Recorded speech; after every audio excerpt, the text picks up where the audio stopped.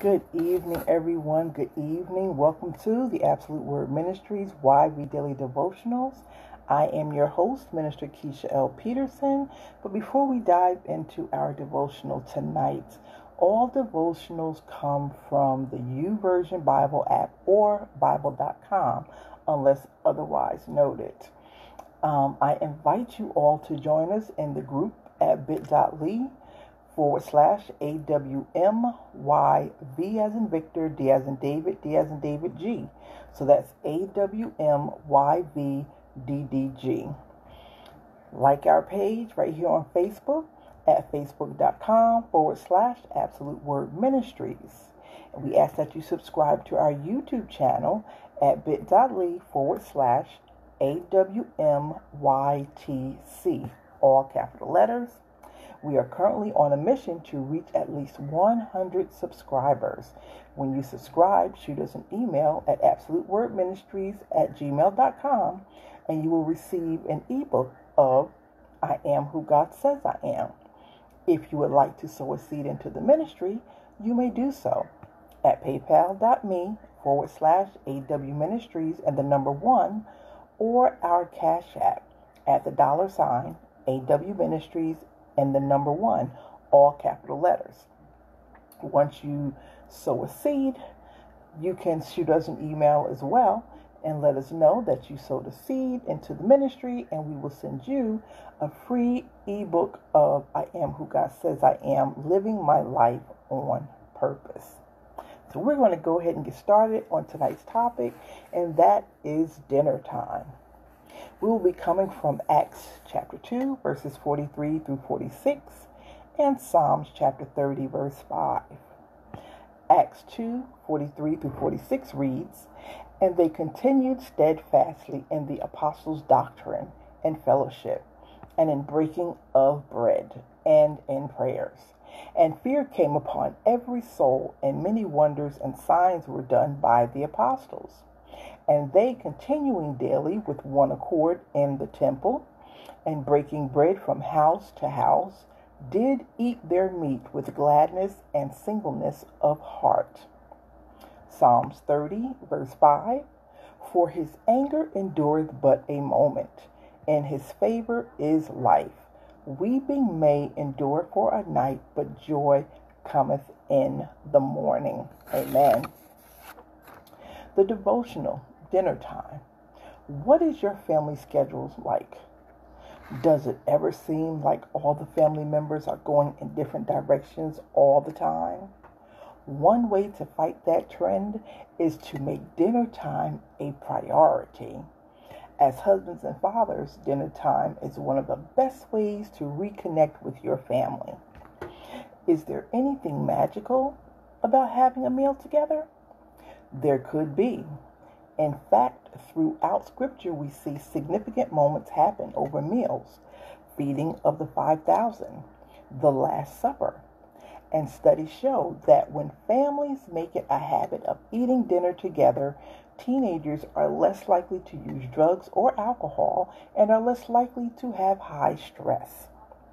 Children of all ages do better in school.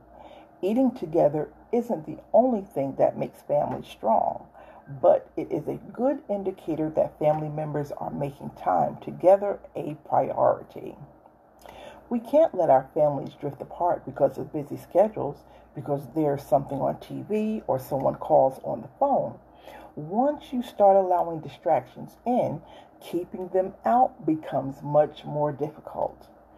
Dinner time is one tangible way to take back time as a family although the commitment also needs to apply beyond the dinner table. We have to set boundaries for together time and protect it. And when the kids complain, family dinner, why? Don't lose your positive attitude or get drawn into an argument. Just smile and say, Thanks for being here. I appreciate it. One sobering exercise is to calculate how many days you have left with your children before they leave home.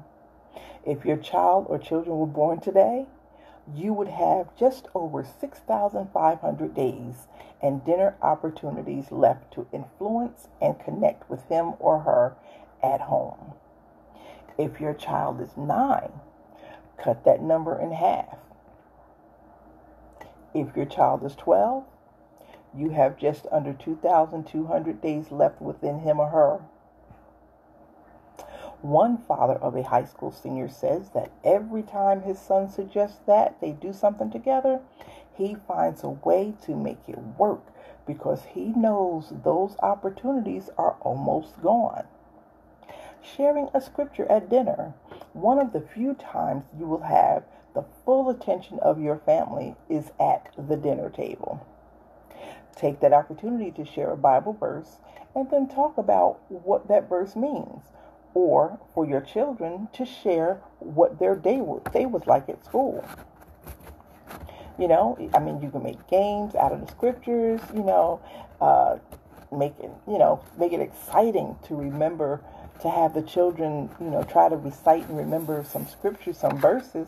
You know, there are some nice, easy verses in the Bible for children to remember. So, hus- husbands, as we get so tied up, we know that we get tied up during our day to day hustle and bustle at work or even school that you sometimes forget about your wife. Now, I don't mean you forget you're married. I mean, you forget that she is just as busy as you are, but would be elated to hear your voice in the middle of a hectic day. So, a dinner time challenge.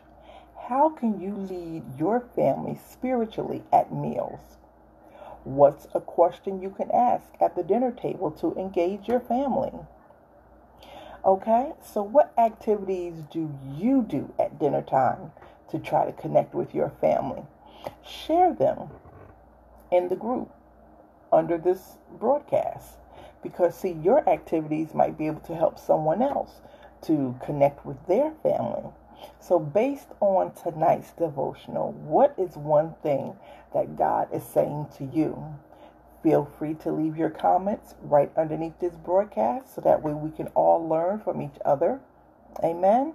Don't forget to join us tomorrow night at 8 p.m. as we continue on with day five of Uncommen Being Better Husbands and Fathers Daily.